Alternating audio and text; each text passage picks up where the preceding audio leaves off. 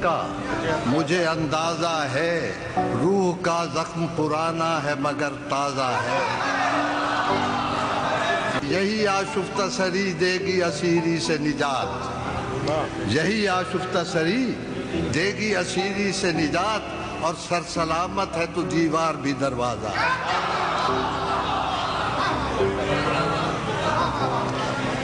कि मौत एक सिलसिला वहमो गुमा है आ, आज की रात। मौत एक सिलसिला वहमो गुमा आज की रात और ज़िंदगी बलबलाए अज़म जवा आज की रात। मौत एक सिलसिला वहमो गुमा आज की रात और ज़िंदगी बलबलाए अज़म जवा आज की रात और कहकशा फिर से हुई जलवा फिशा आज की रात। कहकशा? फिर से हुई जलवा फिशा आज की रात, और आलम पीर भी होता है जवां आज की रात। आलम पीर भी होता है जवां आज की रात, और खूने ताज़ा रगे हस्ती में रवा आज की रात। खूने ताज़ा रगे हस्ती में रवा आज की रात, और वक्त की दस्त जुनू में है इना आज की रात। वक्त की दस्त जुनू में है इना आज की रात। और मुजदा दिल के हुए खाक बसर एल हवस। मुजदा दिल के हुए खाक बसर एल हवस और इश्क है बालमो तबलो निशा आज की रात।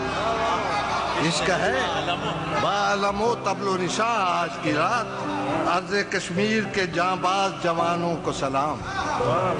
अर्ज़ कश्मीर के जाबाज जवानों को सलाम। और रश के फिरदौस है वादी का समा आज की रात।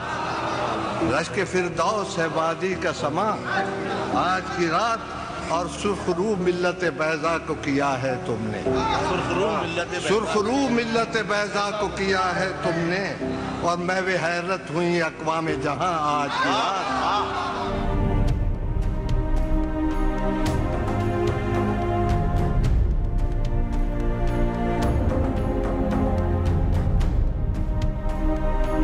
मुल्क में जमहूरियत की बका के लिए तवील जदोजहद करने वाली गैर मतनाज़ा शख्सियत और बेदाग किरदार के मुनफरद सियासतदान बाबा जमहूरियत नवाबजादा नसरुल्ला खान को हमसे पिछड़े 16 साल बीत गए।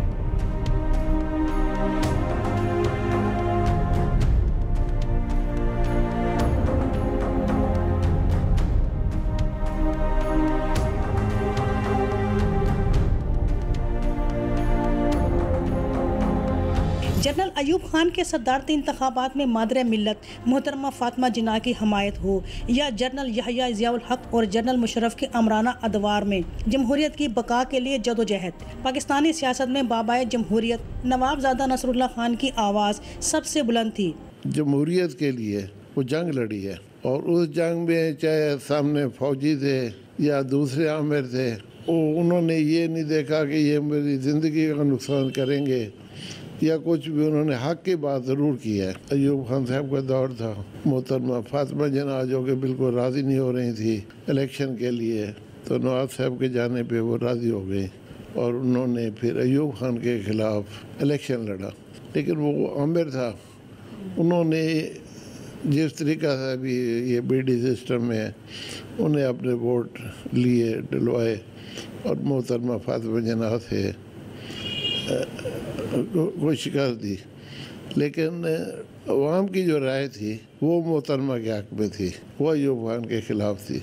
तो उसके बाद उनके ख़िलाफ़ फिर एक बहुत बड़ा एजिटेशन चला, जिसे नवाज़ साहब ने क्यादत की। और उसमें जो मेन किरदार था, वो नवाब साहब ने गाइड किया। कॉलेज के तलबा थे। फिर अवाम थी साथ। और कारवां बनता गया। ये उन्होंने पहले उनका जो था जो मीरियत के हक में उन्होंने एक अपनी ज़िंदगी का पहली फाइट जो मैंने देखी है वो पहली वो थी यानी तकरीबन तकरीबन सिक्सटी में सिक्सटी वन में सिक्सटी टू में इस तरह है।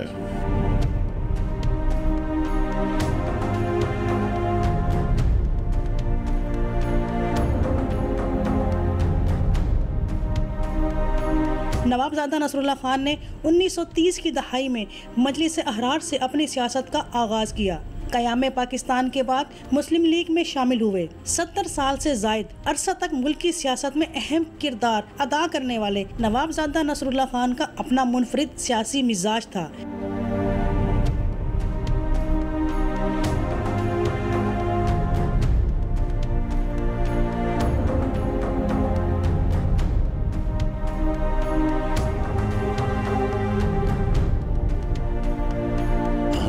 एक फैमिली का भी मकाम था, हमारे इलाके के लोगों का भी मकाम था उनके ज़िंदगी में। तो उनके जाने के बाद बहुत ज़्यादा कमी महसूस हुई है उनकी, और अब होती रहेगी सारी ज़िंदगी, उन जैसा लीडर फिर नहीं आ सकता। बेशक जितना अच्छा लीडर भी आ जाए, वो बड़े बासूल और बहुत मज़बूत असाब के मालिक थे, और वो हमेशा हक की बात करते थे, कभी उन्होंने किसी के आगे झुके नहीं थे। एक तो होता है ना नारा है, ना झुकने वाले, ना बिकने वाले। ना वो कभी बिके थे, ना वो कभी झुके थे। ज़मीनें बेच बेच के ना अपनी उन्होंने सियासत पे पैसा लगाया। कभी किसी से एड नहीं ली, कभी किसी से इमदाद नहीं मांगी। इलेक्शन पे अलबत्ता लोग इश्तहार छपवा के उस वक्त, अब तो पैनाफ्लैक्स आ गए उस वक्त कागज़ के इश्तिहार छपवा के गिफ्ट करते थे उन्हें कि ये हमारी तरफ़ से लगा दें। वो अपने फ़ोटो भी साथ लगा देते थे, लेकिन वो किसी को नहीं कहते थे। बड़े थोड़े पैसों में इलेक्शन लड़ते थे। ये आजकल तो करोड़ों की बात होती है ना। उस वक्त वो हज़ारों में हज़ारों में बड़ा मतलब है कि बहुत दो तीन गाड़ियाँ और वो उसी से इलेक्शन लड़ते थे। कोई काफ़िला नहीं होता था गाड़ियों का, इलेक्शन जब जब लड़ते। अगर वो हार भी जाते थे ना तो वो इस तरह बैठे होते थे कि बिल्कुल मोतमैन। उनको कोई फ़िक्र नहीं होती थी कि भाई हम हार गए हैं। वो बिल्कुल ही, उनको फील ही नहीं होता था कि मैं हार गया हूँ। क्योंकि शख्सियत ऐसी थी कि वो एम एन ए होती एम एम पी ए होती, ना होती। तो उनका एक अपना मकाम था। अमरीत के दौर में सियासी जमातों को एक प्लेटफार्म पर जमा करना और फिर अमरीत के खिलाफ मुश्तर सियासी जदोजहद नवाबजादा नसरुल्ला खान का ही कारनामा था।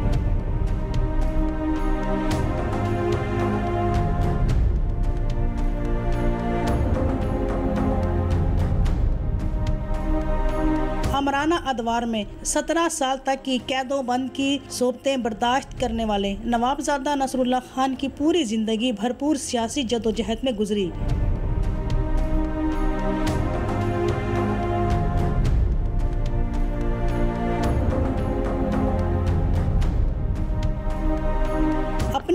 ज़िंदगी के आखिरी दिनों में भी। नवाबजादा नसरुल्ला खान मुतहरब सियासी ग्रुपों को ए आर डी के प्लेटफार्म पर जमा करके जनरल मुशरफ की आमरीत के खिलाफ जदोजहद करते रहे।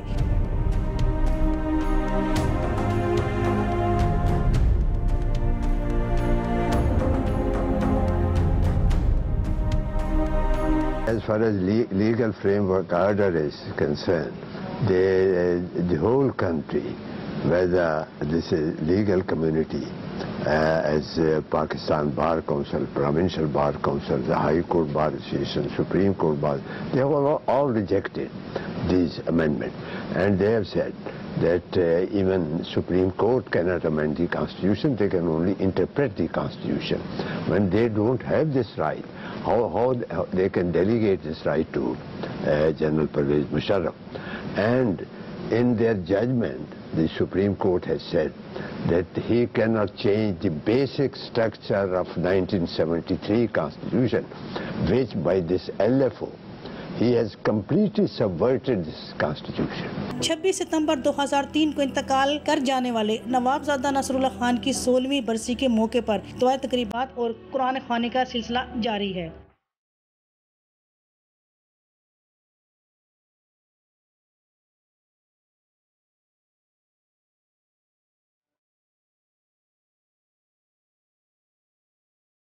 2003 26 सितंबर उनकी वो योम वफ़ात था और साल था जी। और अब ये बरसी उनकी खैर से, हम अकीदत व एहतराम से हम वो यहाँ पर कर रहे हैं और दुआ के लिए और हमारे तमाम अज़ीज़, रिश्तेदार और जो उनके सियासी रुफ़ा वो तशरीफ़ लाते होते हैं, उनके चाहने वाले और उनके सिलसिले में इंतज़ाम वगैरह भी हो रहे हैं। सफ़ेद सूट और काली अचकन में मलबूस, सर पर तुरक टोपी और नवाबजादा नसरुल्ला मरहूम की पहचान, जिनका मशगला, हुक्का और सिगार था। रोज़मर्रा डायरी लिखना भी इनका मामूल था। जी ही अर्ली राइजर जल्दी उठते थे, वो नमाज़ पढ़नी, सुबह वो वॉक लाजमी करते थे और बड़ा लाइट नाश्ता करते थे, और हुक्का, पान, ये उनका मामूल था। वो और उसके बाद वो अपने ज़मीनों में चले जाना। तो सुबह, अर्ली मॉर्निंग और फिर तमाम उनके जो एक हैबिट थी कि वो मुताला करना तमाम अखबार का, जितने इंग्लिश, उर्दू न्यूज़पेपर्स आने, दस से बारह तकरीबन होते थे। और उसके बाद सात बजे के बाद उनका यहाँ पर अपने लोगों से मुलाकात का सिलसिला शुरू हो जाता था। लोग मिलने आने उनके साथ। और इसी तरह फिर लंच दोपहर को वो एक डेढ़ घंटा वो आराम करते थे। मगर उसके बाद रात गए तक लोगों के साथ उनका मिलना मिलाना अज़ीज़ रिश्तेदार फैमिली मेंबर्स वो आते थे मिलते थे अपने टाइमिंग्स में। हुक्का नहीं था तो वो सिगार पीते थे। जहाँ हुक्का नहीं जा सकता था तो वहाँ वो सिगार उनका वो होता था जी। तो हुक्का कहाँ कहाँ नहीं जाता था? हुक्का तो यहीं पर है या जहाँ जाते थे हुक्का भी साथ था? नहीं हुक्का उनका साथ ट्रेवल करता था जी। बल्कि उन्होंने अपना एक इलेक्ट्रिक भी रखा हुआ था तो जब वो लंबी फ़्लाइट्स कभी अमेरिका यूरोप का उनका कोई टूर होता था तो वो उनका फ़्लाइट में भी उनका चलता था जी। वो उनकी एक हैबिट थी। कैब एक्चुअली वो एक स्टाइल नहीं था वो बेसिकली एक तहरीक थी। उस टाइम जब अंग्रेज़ साम्राज्य के ख़िलाफ़ तहरीक खिलाफत काफ़ी लोग इससे फेमिलियर होंगे, हमारी हिस्ट्री का एक हिस्सा है। तो उस वक्त जितने भी सरकर्दा रहनुमा थे, चाहे मौलाना मोहम्मद अली जौहर, सर सैद अहमद ख़ान, और जितने बड़े नामवर हज़रत लामा इकबाल साहब भी तो ये सब उस टाइम ये तहरीक खिलाफत का ये एक सिंबल था। उस टाइम आप इजहार राय पर पाबंदी होती थी तो एक सिंबल था। तो नवाज़ साहब भी उस तहरीक का हिस्सा थे तो उन्होंने उस लेगेसी को अपनी ताहयात आखिरी वक्त तक उसको मेंटेन रखा उसको। नवाज़ साहब was very rich in history वो एक बहुत रिच uh, हिस्ट्री के मालिक थे। उनका अखलाक बहुत अच्छा था अपनी फैमिली मेंबर्स के साथ अपने दोस्तों के साथ इवन अपने सियासी अपोनेंट्स के साथ। वो अपने सियासी अपोनेंट्स का नाम भी बड़ी इज़्ज़त और एहतराम से लेते थे। कभी भी आ, मेरा नहीं ख्याल कि कोई उनका बुरे से बुरा दुश्मन भी ये नहीं कह सकता कि नवाब साहब की तरफ़ से उन्हें कभी कोई इस तरह की कोई तकलीफ़ पहुँची हो। तो ये उनकी एक शख्सियत का खासा था। उनका ये था कि बाहर पुलिस वुलिस जो उनके सिक्योरिटी पे लगी होती थी, उनको भी वो खाना वगैरह इतनी मोहब्बत करते थे। उन्हें कहते थे, भी खाना आप लोगों ने बाहर ले मेहमान नवाज़ थे। पान खाते थे और हुक्का पीते थे। बस ये दो चीज़ें उनमें थी। हाँ जी, बाकी नमाज़ तहजत रोज़ा सारे रखते थे। लास्ट जो उनके दो तीन साल थे ना डॉक्टरों ने रोक दिया था रोज़ा रखने के लिए वरना सारी ज़िंदगी वो रोज़ा रखते रहे। उनकी वालदा जो थी ना जी वो मलेर कोल्डा से थी तो वो पान खाती थी। तो वहीं से फिर नवाज़ साहब ने पान खाने शुरू किए वरना नहीं वैसे भी। हाँ तो हमारी फैमिली में और पान का इतना रिवाज नहीं था। उनके भाई भी वो थोड़ा बहुत पानी इस्तेमाल करते थे। उनकी बेगम भी मलेर कोट लाते थी। नवाबजादा नसरुल्ला खान के पाँच बेटे और पाँच बेटियाँ जिनमें दो की वफात और तीन हयात हैं। पहला बेटा नवाबजादा निसार नवाबजादा मंसूर नवाबजादा इफ्तार नवाबजादा इबरार और नवाबजादा इसरार। उनके दो बेटे सियासत में हैं। वैसे तो तीन थे एक यहाँ बड़े बेटे जो हैं उनके नवाबजादा निसार खां हैं। वो सियासत में नहीं है, वो आज़ाद रहते हैं। उससे छोटे मंसूर खां हैं, नवाबज़ादा मंसूर ख़ान वो मुस्तकिल सियासत में हैं। और उनका बेटा नवाबज़ादा बिलाल ख़ान वो बहुत हार्ड वर्कर है। उनको बहुत उसने मतलब है सीख लिया। हाँ जी सीखा है और उससे भी ज़्यादा काम कर रहा है। वो लोगों का दिन रात काम करता है। रात के दो दो तीन तीन बजे वो घर में सोता है। लोगों के काम करता है।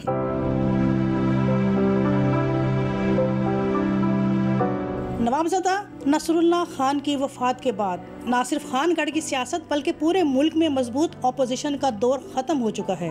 नवाबजादा नसरुल्ला की हवेली, यानी कि डेरा 1950 में बनाई गई। नवाबजादा नसरुल्ला जितना अरसा सियासत में रहे, लाहौर ऑफ़िस बत्तीस निक्सन रोड पर वाक़ रहे और खानगढ़ हवेली में वो माह रमज़ान में क्याम करते और अपने इलाके के लोगों से मुलाकात करते। ताहम इनकी गैर मौजूदगी में इनके बेटे नवाबजादा इफ्तार और नवाबजादा मंसूर इनको देखते।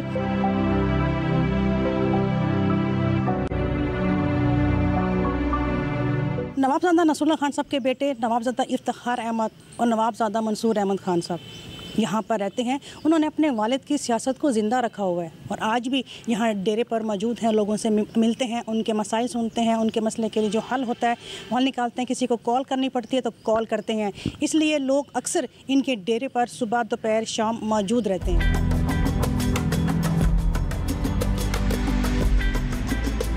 एक अंदाजे के मुताबिक नवाबजादा नसरुल्ला खान की जीत के पीछे दो तरह के वोट मिलते थे, जिनमें एक शख्सी वोट, दूसरा बरादरी बेस का वोट। नवाबजादा नसरुल्ला खान का कमरा, जहाँ इनसे बड़े बड़े मुल्क के बड़े बड़े सियासतदान, जिनमें अकबर बुट्टी मोहतरमा, बेनजीर भुट्टो शहीद और दीगर सियासी शख्सियात मिल चुके हैं, आज भी वो कमरा अपनी असली हालत में मौजूद है।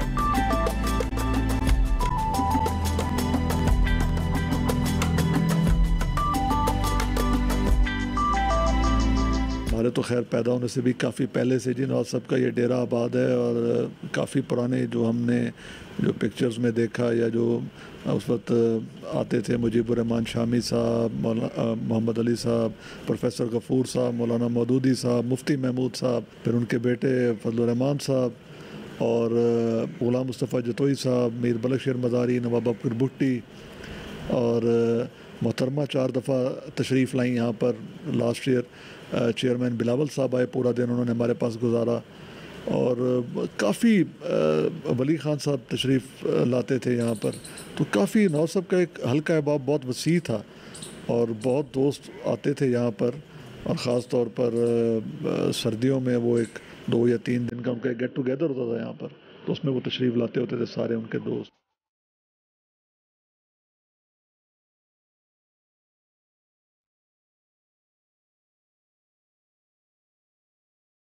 यूँ तो मुजफ्फरगढ़, खानगढ़ शहर, आज भी लोग नवाबजादा नसरुल्ला खान और उसकी सियासत को याद रखते हैं।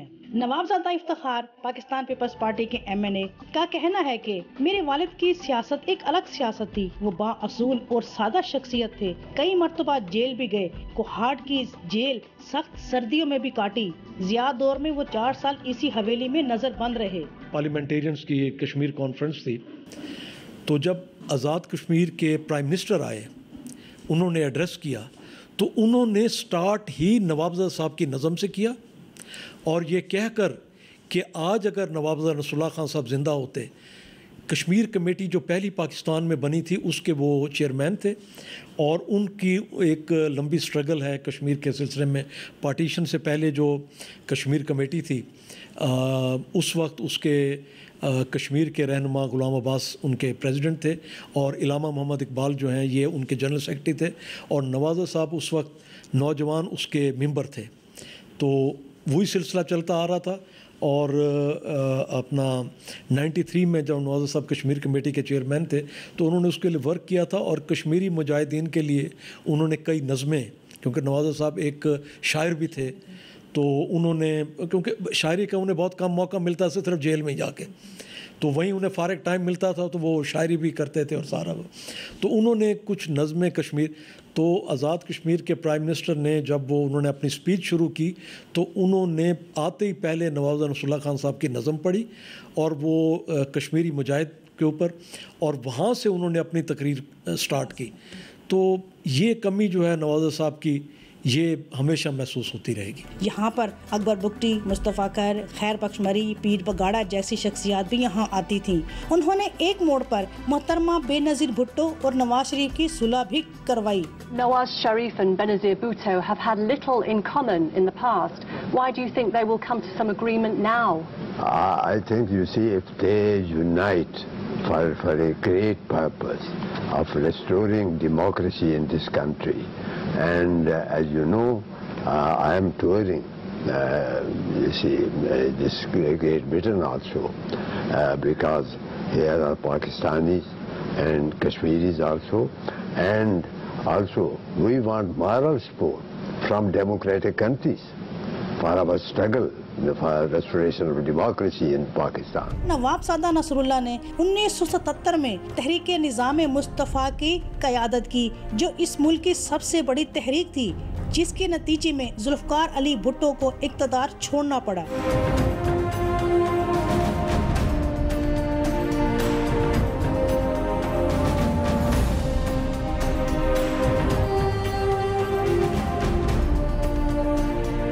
डीएनए की टीम में हम 32 निकात लेकर गए थे 32 पॉइंट्स उसमें 31 निकात पर हमारा समझौता हो गया।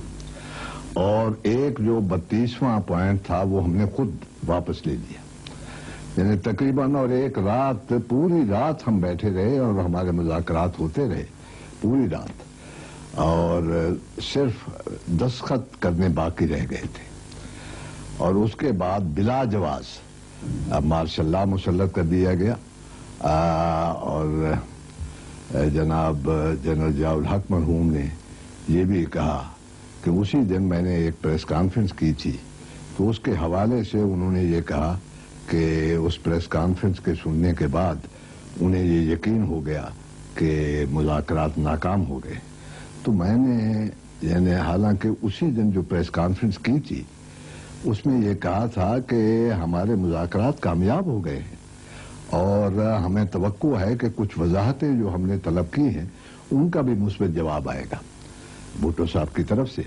और चुनाचे उसी रात, यानी जिस रात ये मार्शल्ला नाफिज होता है 11 बजे रात को जनाब भुट्टो मरहूम ने, उन्होंने भी प्रेस कॉन्फ्रेंस की और उसमें उन्होंने कहा कि सुबह को इब्तदाई यानी बात करेंगे अब्दुल हफीज पीरजादा और प्रोफेसर गफूर अहमद। और शाम को हमारी वो मीटिंग होगी जिसमें हमारे दस्खत होने थे। और उसके बाद मामला जो है, वो ख़त्म हो जाता। लेकिन बदकिस्मती से ऐसा हुआ तो मैंने अक्सर व बेशतर अपनी पब्लिक मीटिंग में भी इसका ज़िक्र किया है। और ख़ुद जनरल जियाउल हक साहब मरहूम की ज़िंदगी में, यानी मैंने कई स्टेटमेंट्स में हती कि जेल के अंदर से भी मैंने एक बयान बाहर भिजवाया था जो उस वक्त जंग में और मैग में जो उनका एक अंग्रेज़ी रिसाला है उसमें छप चुका है कि ये ए, हमारा तकरीबन फैसला हो चुका था और ये मार्शल्ला कतन बिला जवाज था। नवाबजादा नसरुल्ला खान अगरचे अपनी जमात पाकिस्तान जमहूरी पार्टी के सरबराह थे, मगर इनकी औलाद अपने वालिद की पार्टी को चलाने की बजाय पाकिस्तान पीपल्स पार्टी और पाकिस्तान तहरीक इंसाफ का हिस्सा बन चुके हैं। लेकिन दोनों का कहना है कि हम अपने वालिद के मिशन को जारी रखेंगे। नवाबजादा नसरुल्ला खान मुल्क की सियासत में एक बड़ा नाम था। जो उनका कैलिबर था, जिस तरीके से उन्होंने पॉलिटिक्स की, वो तो पूर्ण पूर्ण नहीं हो सकता। मगर हमारी कोशिश ज़रूर होती है कि उनके नक्शे कदम पर चलते हुए कोशिश करें कि मुल्क के, के लिए कौम के लिए अपने इलाके के लिए जो यूनिटी और जो बेहतरी हो सके।